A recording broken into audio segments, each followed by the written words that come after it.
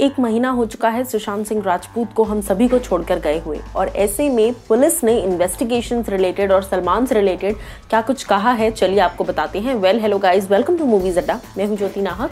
सलमान खान पर लगातार सवाल उठ रहे थे सुशांत सिंह राजपूत केस को लेकर। सिर्फ़ सलमान नहीं, बल्कि मैं बता दूँ, करण जौहर से लेकर तमाम लोगों पर।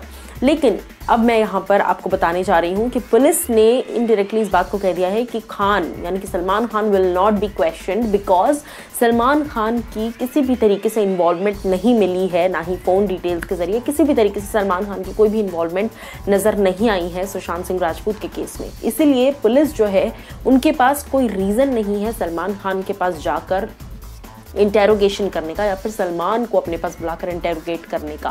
सो so, ये कहीं ना कहीं एक बहुत ही बड़ा क्लीन चिट आप कह सकते हैं दे दिया है सलमान खान को पुलिस ने और उन्होंने कहा कि ना ही सिर्फ़ सलमान खान बल्कि करण जौहर से रिलेटेड भी कोई ऐसी इन्वॉल्वमेंट नहीं मिली है जिसके वजह से उन्हें बुलाकर इंटेरोगेट किया जाए।